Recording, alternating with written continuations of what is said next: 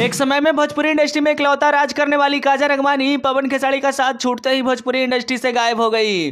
कभी पवन सिंह के साथ तो कभी खेसारी, लाल यादव के साथ, कभी दिनेश, लाल यादव निरहुआ तो कभी चिंटू पांडे के साथ फ़िल्मों में खुलकर रोमांस करती नज़र आती थी, लेकिन क्या हुआ ऐसा जो अचानक से गायब हो गई?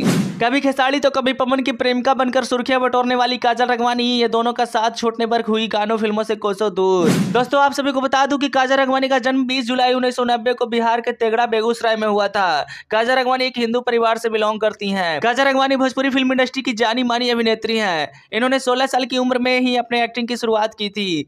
अभिनय की शुरुआत गुजराती फ़िल्मों से की, लेकिन आज भोजपुरी फ़िल्मों की प्रसिद्ध अभिनेत्री बन गई है काजल रगवानी। काजल रगवानी अब तक पचास से ज़्यादा भोजपुरी फ़िल्मों में अपना जादू चला चुकी है। ये मूल रूप से महाराष्ट्र की है, लेकिन इन्होंने अपनी शिक्षा बिहार से पूरी की। काजल ने अपनी स्नातक की पढ़ाई बिहार राज्य की पटना यूनिवर्सिटी से पूरी की। सोलह साल की उम्र में काजल रगवानी ने वर्ष 2011 में भोजपुरी फ़िल्म इंडस्ट्री में फ़िल्म सुगना से अपने करियर की शुरुआत की।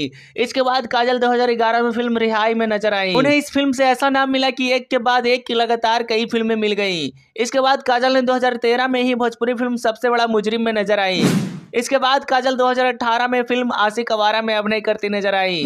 काजल अब तक 50 से ज़्यादा भोजपुरी फ़िल्मों में अभिनय कर चुकी हैं। काजल रगवानी का एक डांस वीडियो छलका था हमरो जवनिया राजा यूट्यूब पर बहुत पॉपुलर हुआ। और अब तक ये सॉन्ग 280 मिलियन से ज़्यादा बार देखा जा चुका है। काजल के ज़्यादातर गाने यूट्यूब पर वायरल हो जाते हैं। काजल को 2016 में दुबई में आयोजित अंतर्राष्ट्रीय भोजपुरी फ़िल्म अवार्ड में उन्हें भोजपुरी की सर्वश्रेष्ठ अभिनेत्री पीपल चॉइस अवार्ड मिला। काजल रगवानी ने भोजपुरी फ़िल्मों में 2013 में डेब्यू किया इनकी पहली भोजपुरी फ़िल्म थी सबसे बड़ा मुजरिम। इस फ़िल्म से उनको भोजपुरी इंडस्ट्री में थोड़ी पहचान मिल चुकी थी। लेकिन काजल रगवानी को असली पहचान तब मिला जब पवन सिंह के साथ इनका एक गाना छलका था, हमरो जवानिया ये राजा। बहुत ज़्यादा वायरल हुआ।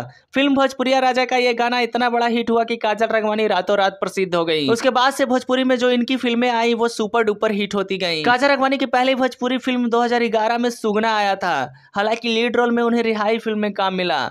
जो 2013 में आया था। दो फरवरी 2017 को काजल रगवानी की सुपरहिट फ़िल्म मेहंदी लगा के रखना रिलीज़ हुई थी। इस फ़िल्म के डायरेक्टर रजनीश मिश्रा और प्रोड्यूसर अनंजय रघुराज थे। काजल रगवानी को इस फ़िल्म से खूब लोकप्रियता मिली थी। इसमें खेसारी लाल यादव लीड एक्टर थे। वहीं अवधेश मिश्रा, संजय पांडे और संजय महानंद भी थे। मेहंदी लगा के रखना सुपरहिट गीत लगा के फेयर लवली, कवना देवता के गढ़ल और बलमुआ हो तोहरे से प्यार हो गई ये गाने मुख्य थे उनमें। फ़िल्म मेहंदी लगा के रखना के बाद खेसारी लाल यादव और काजल की सुपर हिट फ़िल्म नागदेव आई थी।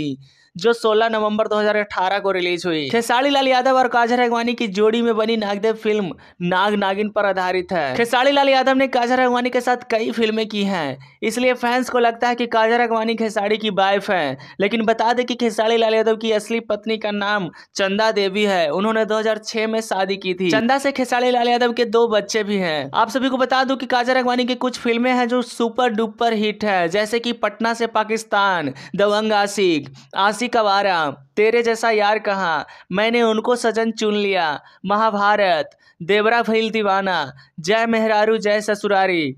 कूली नंबर वन, सरकार राज। मज़ाक रिहाई, सबसे बड़ा मुजरिम, नागदेव, मेहंदी लगा के रखना, संघर्ष, मुकद्दर, दुल्हन गंगा पार के, मैं सेहरा बाँध के आऊँगा, हम है हिंदुस्तानी बलम जी लवी। तो दोस्तों, ये थी काजल रखवानी के बारे में कुछ जानकारियाँ बाकी आपको ये वीडियो कैसी लगी? अगर वीडियो अच्छा लगा होगा तो वीडियो को लाइक कर दीजिएगा, चैनल पर नए हैं तो सब्सक्राइब कर दीजिएगा, अगर पेज पर पे देख रहे हैं तो फॉलो कर दीजिएगा।